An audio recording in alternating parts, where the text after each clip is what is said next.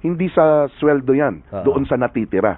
So having said that, hindi rin automatic pag hindi ako nakakaipon ng 20% ng aking Oo. sweldo, wala na akong ah, pag-asa. Ang Mm. importante, regular, consistent kayong nakakaipon. Mm. Um, una kong narinig yung ah, sa aking mentor, si Mr. Francisco Colayco, ah, sabi niya noon na 80-20, 20% ng sweldo, ipunin, ah, income minus savings equals expenses. Mm. Of course, ang daling mga sabihin yan eh, Oo. di ba? Ah, pero yung income minus savings, meron na mga pasilidad ngayon. Mm. Kung kayo kasama sa 30-40 million na Pilipino nagtatrabaho na hindi na kayo nakakatakas sa pagbayad ng buwis, di ba? Dahil withheld ang taxes, sumasweldo kayo regularly, ah, wala na yatang kumpanya na nagpapasweldo ng cash, karamihan o um, almost ATM na.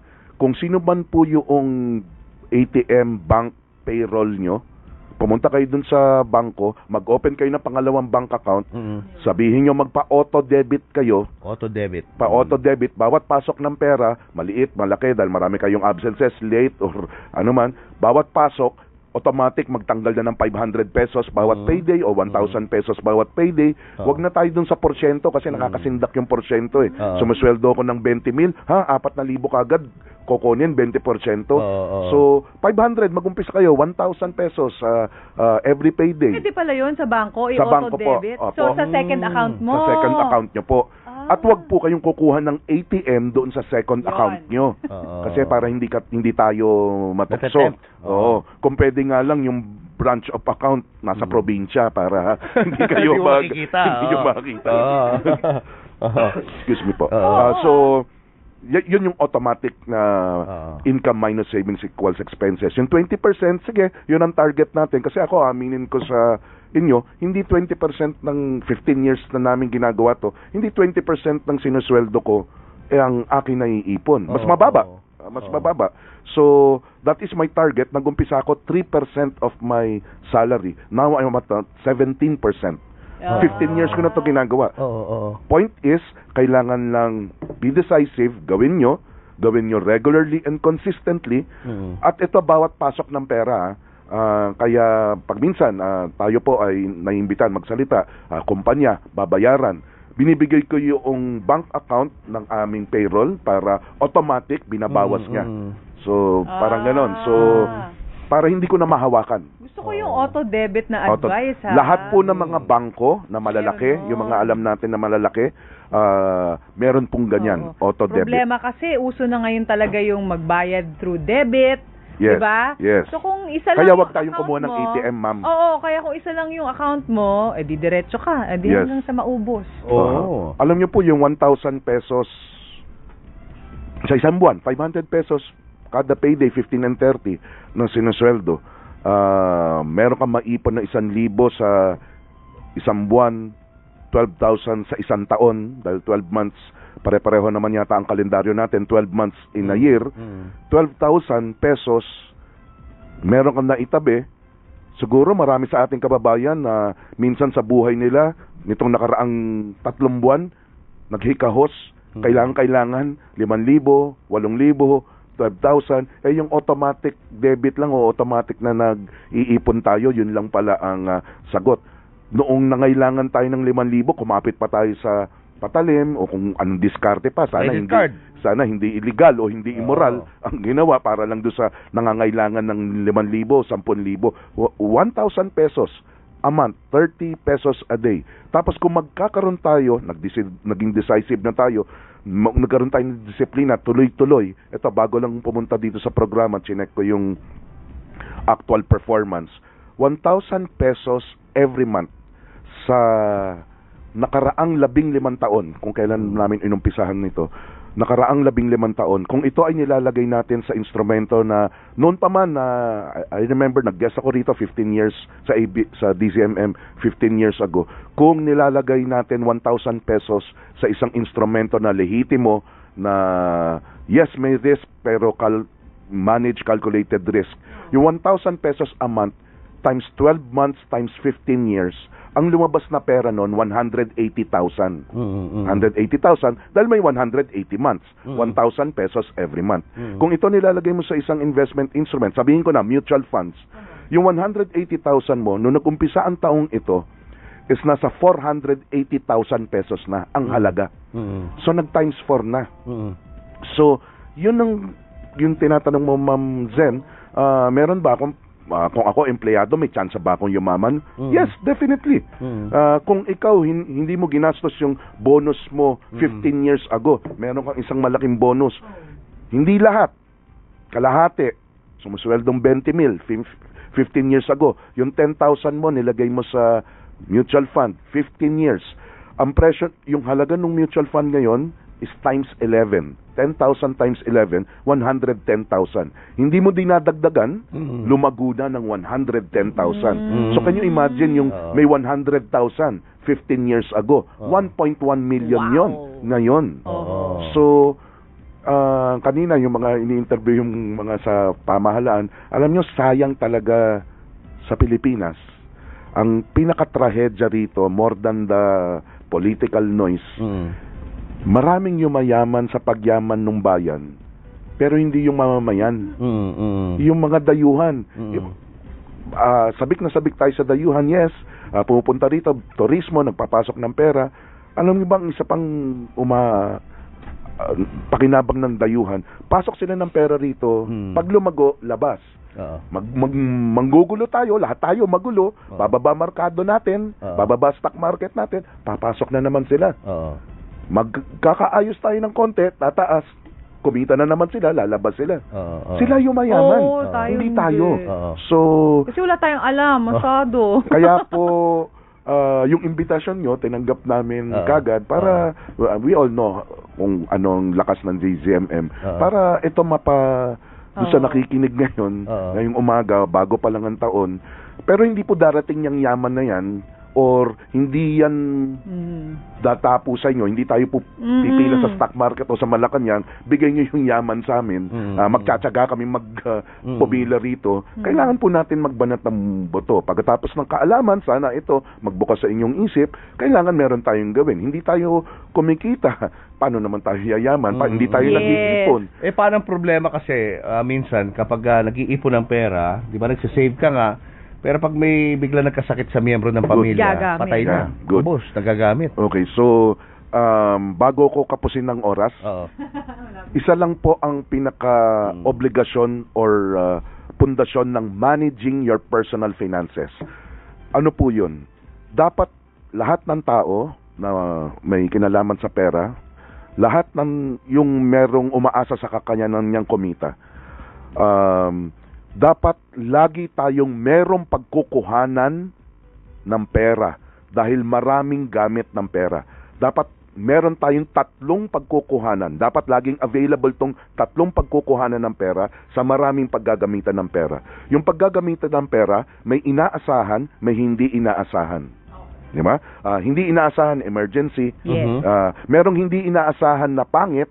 Emergency. Mhm. May hindi inaasahan na maganda. Mhm. Sabi kay Julius, narinig ko kanina, sabi, may binigay sa kanyang scholarship, punta ka ulit ng New York. Oh, Enjoy mo ulit yung Oo. ano. Oo. Pero sagutin mo boss yung ticket. Oo, Pero yung enrollment mo doon, tuition mo ron, sagot na namin. Oo. Tsaka yung allowance mo. Ayan. Oo. Gastos. Pero ano, ikaw ang pumunta doon sa Amerika ulit. Mm. Oo. Oo. Eh di gagastos ka na naman. okay. Unexpected, pero gusto mo. Oo. Kumpara yung unexpected, lumapit yung kamag-anak, Oo. Ah, tagal ko na hong naghanap ng trabaho, Ah. uncle eh. eh. Baka pwedeng pang ano muna doon sa inaanak mo na ano, oo. apo mo, something, 'di ba? So may inaasahan na pangit, may inaasahan na maganda. Oo. Yung pagkukuhanan ng pera, dito nagkakaproblema. Mm. Tatlo ang pinagkukuhanan dapat natin Mm. ng pera Dapat. at available sa ating lahat. One, meron tayong kinikita. Whether empleyado ka o negosyante ka. Whether empleyado ka o negosyante ka. Meron tayong naipon. Mm. Okay. Pangatlo, meron tayong mauutangan. Mm. So utang ay hindi kalaban, hindi siya Mm. masama. Ah, kakampi siya actually. Mm. Ang problema, kung saan ginagamit yung source ng pera. Ang kinikita o kinita mo, dapat ginagamit yan lang doon sa inaasahan na gastusin. Gastos. Okay. At dapat mas mataas yung kinikita sa inaasahan. Oo. Okay. Yung Ipon. ipon at ah, ah, investments mo, ginagamit mo sa hindi inaasahan na pangit. Na pangit. Mga medical emergencies and all. Mm. Mangungutang ka sa hindi inaasahan na maganda. Ayun. Ang pinaka-problema, Oo. Naku, may emergency. Ah, makautang nga kay Kuya Julius. Kuya Julius, baka Oo. pwede makaba, Oo. 'di ba? Makahiram sa'yo diyan dahil yung Oo. sweldo matagal pa. Oh. Mali yung source doon sa gamit. Oo. Pag naging discipline nyo yan, hin- ma 90% ng managing personal finances, sagot nyo na. Mhm. Um, So, okay yung umutang kung ah, hindi inaasahan pero maganda because y- you Ah, expect na babalik. Parang yes, ganon. ah, ang pinaka-simpleng example dyan, ah, yung merong negosyo. May lumapit sa inyo. Sabi sa inyo, ah, itong negosyo ko, malakas. Kita nyo, puno. Restaurant. Oo nga, eh, gusto ko mag-expand. Gusto mo makisosyo. Oo. O, sabi mo, ano, ah, Oo. imbis yung may, kung may credit card ka, ibig sabihin ng may credit card. Alam niyo, maganda ang credit card.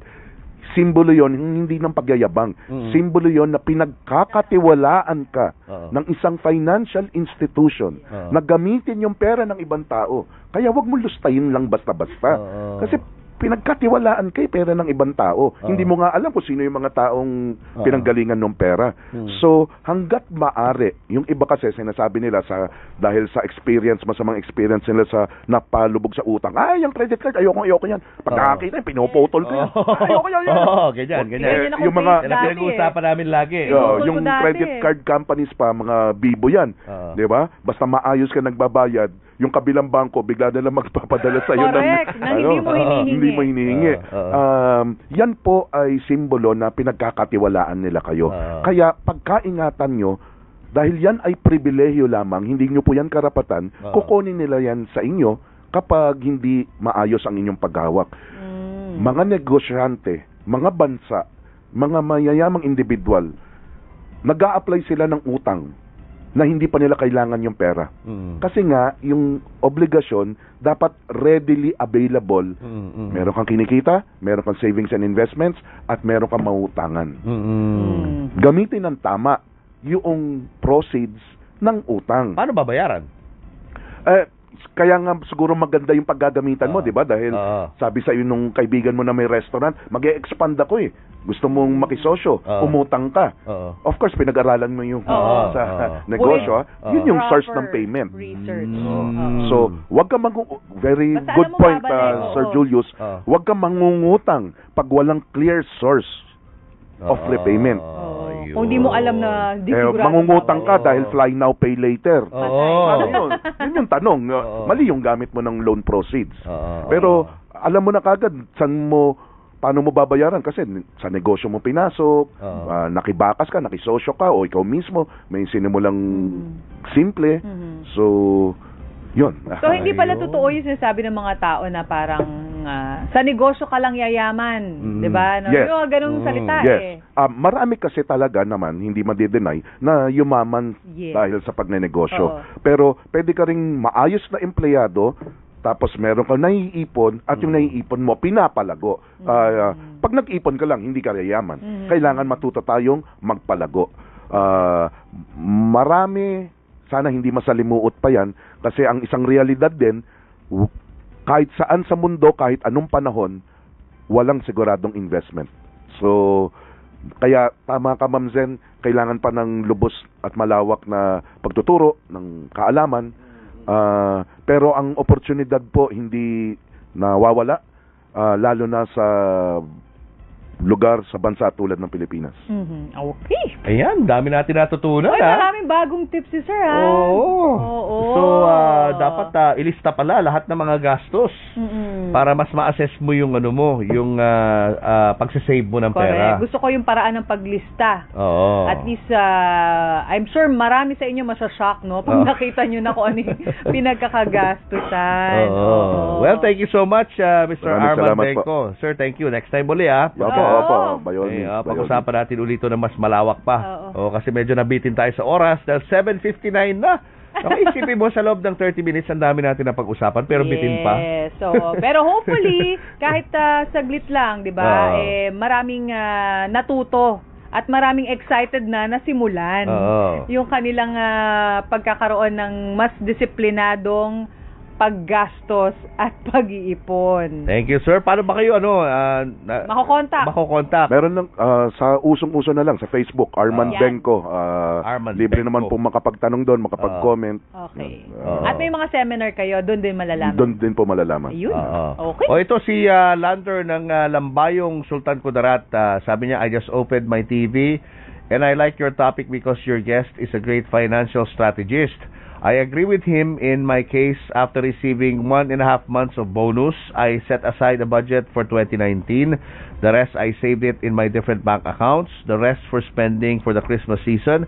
I just followed The Art of War by Sun Tzu based on business. Wow. Galing nito, ah. Oo. Okay ka. Very good. Oo. Very good. It's all in the mind talaga partner eh, Oo, di ba? nasa disiplina mo talaga. Oo, pag nagpadala ka sa tukso, Oo. O mga unnecessary expenses talagang uh, discourage ka talaga. Totoo yan. Alright, thank you so much mga kapamilya. Partner, thank, you. See you next Oo, week. See you again next week, partner. At kayo Mm. po mga kapamilya, next weekend ulit. Alright, tama ka po si kapamilya Joey Lina. Sagot ko yan. Susunod na. Oras 8.01.